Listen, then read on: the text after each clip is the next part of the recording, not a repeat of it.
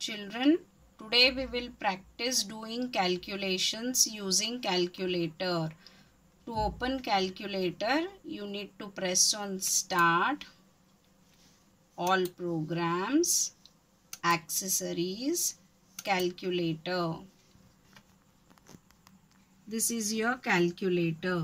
Now here we will do some calculations. 11 plus 17 is equal to 28. 22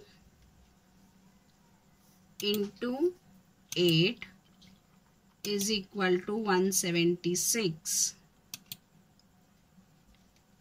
126 divided by 6 is equal to 21.